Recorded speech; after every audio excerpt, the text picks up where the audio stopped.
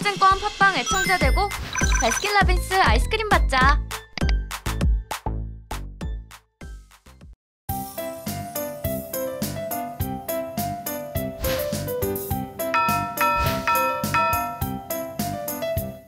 네, today 마감 시황 함께 보도록 하죠. 어, 일단 지금 코스피는요, 1690선까지 빠지고 있는 상황입니다. 아, 속도가 빠르네요. 예, 앞서서 제가 뭐 10분도 안 되는 그 시간 동안에 1701선입니다. 라고 말씀을 드렸는데, 그 사이에 또 더 빠지면서 1690선이고요. 한 번 더 또 추가적으로 좀 낙폭이 있네요. 자, 그리고 코스닥 같은 경우는 역시 마찬가지 똑같습니다. 거래소와 코스피와 같은 모습을 보여주고 있는데, 현재 500 53선까지 빠진 그런 상황입니다. 자, 흐름을 보시면 지금 이제 삼성전자가 음, 3.4% SK 하이닉스 변동성 더 큽니다. 5% 이상의 어, 하락세고요. 그리고 오늘 아, 셀트리온 헬스케어가 3월에 참 많이 오른 만큼 음, 하락폭도 오늘 있습니다. 10% 이상의 약세 움직임이 집계가 있습니다. 현재 8만 원권의 흐름이 좀 나오고 있는 상황이네요. 봉, 음봉 길이 자체도 좀 큽니다. 자, 지금 시장 상황 이렇습니다. 왜 그런지 현재 왜 이렇게 좀 나타나고 있는지 살펴봐야죠. 서사연 팀장과 함께 이야기 나눠보도록 하겠습니다.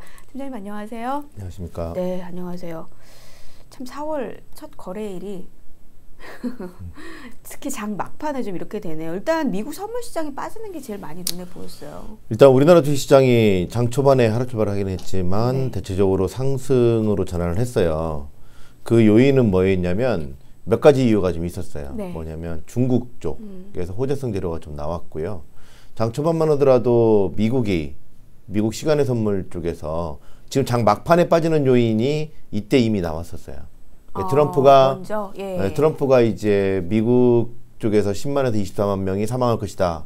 뭐 2주 동안 공포에 것이다. 예. 공포에 휩싸일 거다. 뭐 이런 식의 겁을 줬거든요. 음. 그러면서 미국 시간의 선물이 한 1% 넘게 하락을 하고 있었거든요, 원래. 음. 그럼에도 불구하고 우리나라 주식 시장이 견고한 모습을 좀 보였던 요인은 몇 가지가 좀 있- 있었는데 중국 쪽에서 나온 긍정적인 소식들. 네. 그러니까 첫 번째는 중국의 차이신 제조업 지수.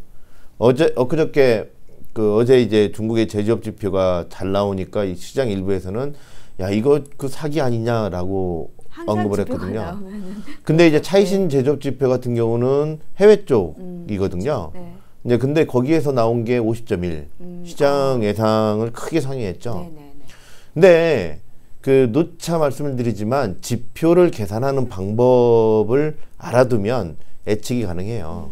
그러니까 이 제, 미국의 제조업 지표라든지 뭐 그다음에 그 차이신 제조업 지표라든지 그 중국 통계국의 제조업 지표를 좀 살펴보면 중국 통계국 같은 경우 어제 발표된 그 지표 같은 경우는 좀 대형주 위주의 국영 기업들 위주의 지표이고 특히나 이게 이거를 자료 수집하는 게 3월 초중반. 네. 예, 그때만 하더라도 중국은 코로나가 가라앉을 와- 가라앉았었고 또 하나 중요한 거는 미국이 코로나 확산이 되지 않았던 시기예요.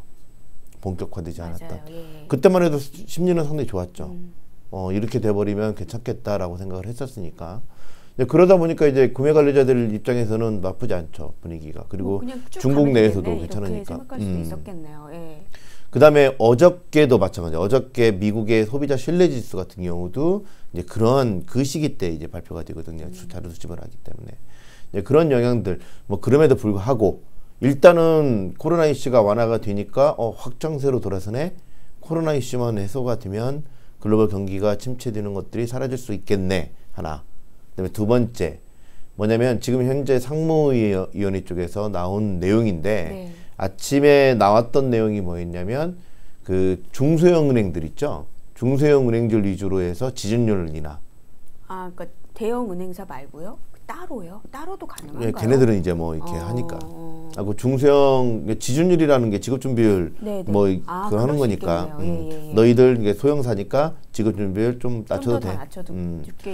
너희들 이제 예. 뭐 위기라든지 뭐 이런 것들을 완화시켜 줄게 뭐 네. 이런 식의 내용이거든요. 그래서 그런 내용들이 발표는 아니고 그게 논의가 되고 있다 하나. 그 다음에 또 하나는 자동차가 지금 완전히 다 죽어버렸잖아요. 네. 시기가. 그러니까 자동차와 관련돼서 구매와 관련된 보조금이라든지 뭐 여러 가지 조치를 취할 수 있는 거 그걸 논의하고 있다.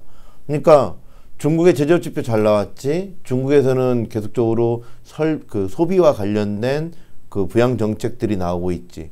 좋죠 우리나라 네. 주식시장. 네. 그래서 오늘 올라간 종목들을 보면 IT 관련주들 중에 LG전자라든지 네. 뭐 이런 것들이 좀 올랐거든요. 음, 가전 쪽. 음, 예. 가전 쪽이 좀 올라가면서 우리 강세를 좀 보였습니다. 그렇지만 불안불안했어요. 왜냐면 보통 이렇게 올라와서 중국 증시가 올라가고 우리나라 주식시장이 올라가 줘야 되는데 그 미국의 시간의 선물은 안 올랐어요. 음. 그냥 그대로.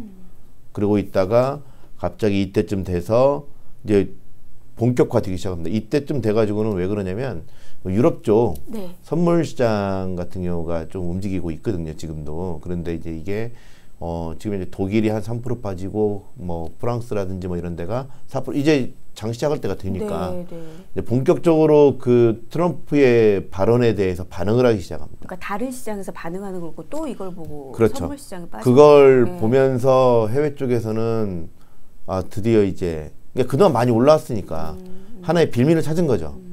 그리고 10만 명, 24만 명 사망이라는 거는 이거는 전쟁이거든요. 네.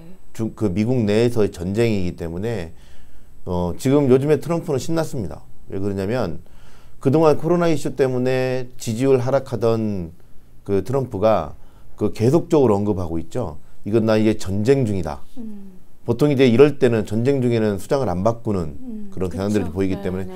그런 내용들이 언급을 하고 1인당 1200달러씩 주고 뭐 이런 식으로 해버리니까 갑자기 이제 지지율이 지지율이 확 올라가면서 네. 조 바이든하고 확 벌어졌거든요. 네. 음. 네, 그런 것들에 대한 기대. 그리고 겁을 주는 거죠, 지금. 이게 10만 명에서 24만 명이라는 거는 통계 수치가 그렇게 나오려면 거의 몇만 명이 걸려야 되냐면 100만 명 이상, 뭐 몇백만 명이 걸려야 되는 음. 그렇죠. 거예요. 예, 지금 사망률 이렇게 같이 음. 보면은 예, 예. 그러니까 2%만 잡아도 얼마야, 네. 이게.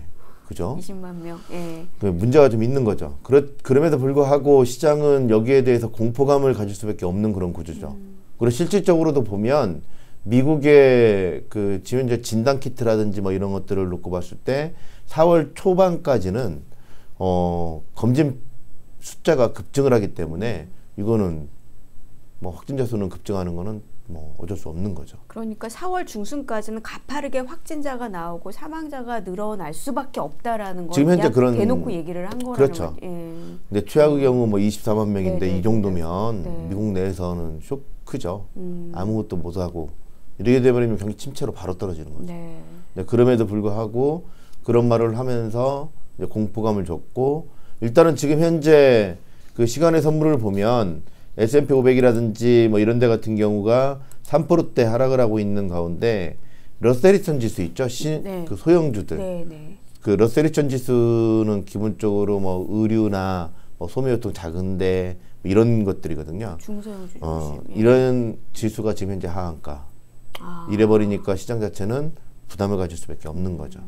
근데 그게 이제 우리나라 주식시장에 영향을 줬다라고 보시면 될 것 같습니다. 네. 이게 원래부터 장 초반부터 이 그러한 내용들에 의해서 조정을 받았다라면 뭐 지금 이렇게 갑자기 급락하거나 그럴 가능성은 높지는 않았지만 이 어차피 그 좀 조정을 봐야 되는 시기 그다음에 최근에 그 1430대에서부터 지금 올라온 게 얼마냐 300포인트나 올라왔기 때문에 20%? 예. 음, 예. 그 정도 올라왔기 때문에 거기에 대한 매물 처리도 당연히 가질 수밖에 없죠. 근데 시장에 대해서는 지금 현재 모든 이슈가 끝나지 않았다.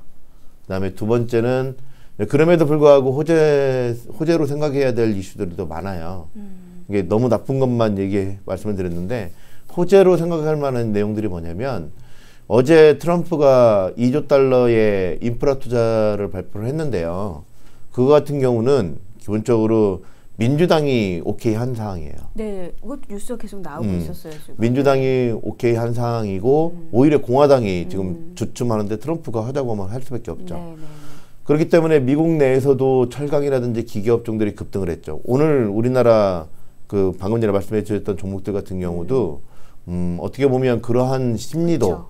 하나 둘씩 기어 있는 거죠. 그러니까 인프라 관련주가 오늘 특히 있었고 5G 관련주가 오늘 올랐던 이유도 혹시 그쪽에서의 그렇죠. 힘률 발휘 이게 이 아닌가? 인프라 예. 투자가 원래 트럼프가 1조 5천억이었는데 5천억이 더 플러스 됐어요. 5천억 달러가. 음. 근데 이제 그게 그 광대역 통신 설비라든지 뭐 이런 쪽에 관련된 설비 투자가 또 들어가 있어요. 음, 그러니까 대체적으로 인프라 투자라고 해서 뭐 교량, 시멘트, 건설.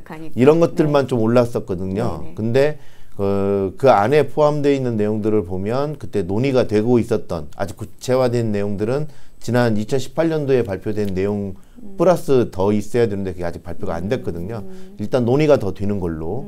어, 근데 이제 그 안에는 이제 광대역 통신이라든지 지금 이제 중국한테 5G 산업의 그 순위를 뺏겼잖아요. 네. 이제 그러다 보니까 거기에 적극적인 투자를 한다는 것도 생각을 해봐야죠. 예. 결국 그렇기 때문에 그 중국의 어, 미국의 인프라 투자는 우리나라 주식시장에도 상당히 영향을 많이 줄 수밖에 없는 그래서 그 관련된 것들도 사실은 시장에 영향을 지금 현재 주고 있는 상황이라고 보시면 될 것 같고요. 네. 그다음에 또 하나는 뭐냐면 중국이 보여줬잖아요. 네. 코로나 이슈가 완화가 되면 곧바로 심리가 기업들의 심리가 확 돌아서는 네. 네. 그 말은 어 보통 이제 이게 L자형 음. 이게 불황이 시작되고 나서 아주 초장기 불황이 되는 음. 그런 모습으로 다들 우려를 하고는 있지만 중국의 제조업 PMI라든지 뭐 이런 것들을 보니까 야 완화만 되면 금방 또 개선이 되네. 회복되네. 그래서 그초그 시기를 좀 찾아야 돼요. 음, 음. 근데 지금 현재 뭐 병원 병상과 관련된 통계라든지 이런 것들을 다 뒤져서 보니까 4월 아침에 제가 말씀을 네. 드렸 그 보여드렸던 차트처럼 아 4월 15일 날 음, 우리 국회의원 선거 달 네. 이제 그날이 고점으로 피크로 이르는 걸로 그렇게 음. 나오는데 그거는 워낙에 유동성이 많아요. 네. 이제 이것 때문에 이제 뭐 좀 더 확산이 될 수도 있고 그러면 또 delay 될 수도 있는 건데 그 주, 그러니까 트럼프가. 트럼프가 이주라고 얘기를 하는 이유가 그런 요인이라고 보시면 될것 음. 네. 같아요. 사실 그것도 이렇게 얘기를 저는 이게 더 귀에 들어왔어요. 일정을 사람이 정하는 게 아니라 바이러스가 정한다고 이렇게 좀 얘기를 하긴 하는데 일단 그동안의 좀 조사 결과를 보면은 4월 중순이 피크가 되고 이제 그 이후부터는 어느 정도 부담을 완화시킬 수 있을 것 같다라고 얘기가 나오고 있는 상황입니다. 어쨌든 지금은 미국 국 쪽의 사정은 어, 좀 이렇게 피크 위로 올라가는 그런 모습이 계속 나타나고 있네요. 그 점에 시장이 좀 부담을 느끼고 있는 것 같습니다. 자, 동시효과 상황 계속 보시고 계시죠? 일단 동시효과 상황에서는 1680선입니다. 코스피가요. 상당히 좀 장 막판에 매물이 나오는 게 심하네요. 그리고 코스닥도 551선 3% 정도의 하락세가 현재 집계가 되고 있는 그런 흐름입니다. 어, 동시효과 상황에서 종목별 흐름 보여드릴게요. 일단 삼성전자 SK하이닉스의 낙폭이 제일 눈에 띄고 있고요. 그리고 어, 단기간에 급등을 했던 셀트리온 관련 계열사 종목들 오늘 셀트리온 13%의 급락이 나오는 게 좀 하락폭이 좀 큰 게 눈에 띄고 있는 상황입니다. 뭐 이와 더불어서 코스닥 쪽의 바이오주들의 조정도 좀 눈에 띄고 있는 상황이네요. 자, 동시효과 함께 보시고요.